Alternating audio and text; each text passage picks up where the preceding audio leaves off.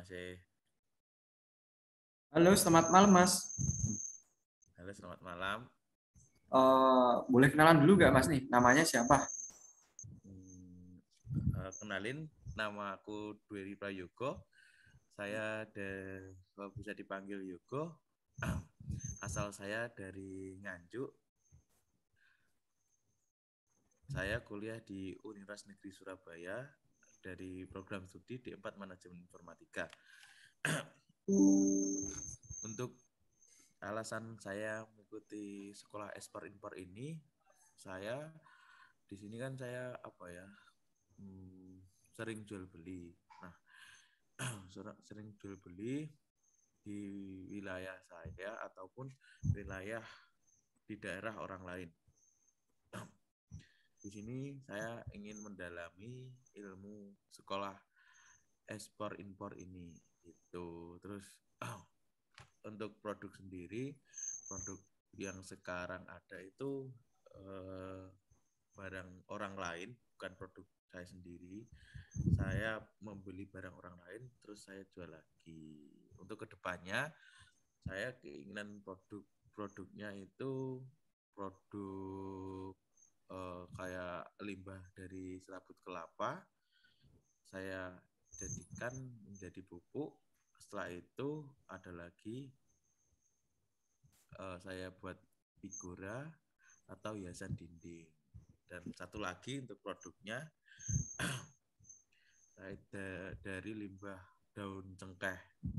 Daun cengkeh itu diolah menjadi minyak nah, minyaknya itu dijual di mancanegara.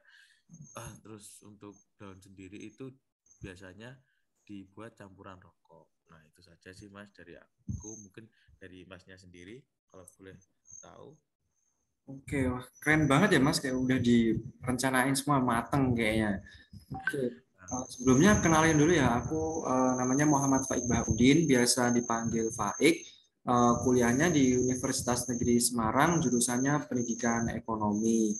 Terus uh, kalau asal daerah sendiri aku dari Kudus, Jawa Tengah.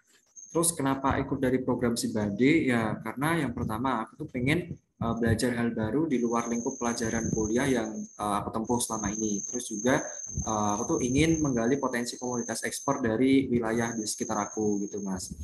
Terus kalau harapan uh, dari mengikuti kegiatan Sibadi ini, ya harapannya uh, supaya aku dapat memahami lah secara keseluruhan gimana sih proses ekspor barang gitu, sehingga uh, ntar ke depannya uh, aku lebih siap buat jadi seorang eksportir gitu mas. Terus kalau rencana bisnis setelah mengikuti Sibadi, ya rencananya kalau ntar udah di akhir semester, uh, pengen mendirikan perusahaan ekspor yang bergerak dalam bidang uh, ekspor produk pertanian dan perikanan, Mas. Seperti itu. Oh iya, by the way, uh, ada sosmed nggak Mas yang bisa aku follow gitu, Mas? Oke, uh, untuk sosmed aku sendiri dari akun IG sendiri namanya Yoga Arta Deta. Oke, ntar aku follow ya, Mas. Oke. Untuk uh, akun sosmednya Masnya sendiri? Uh, akunku uh, at underscore Mas Faik Mas. Uh, Oke, okay, ntar tak follow aja deh gitu. Oke, okay, oke okay, Mas Faik. Oke, okay, makasih ya Mas kenalannya. Oke, makasih juga Mas.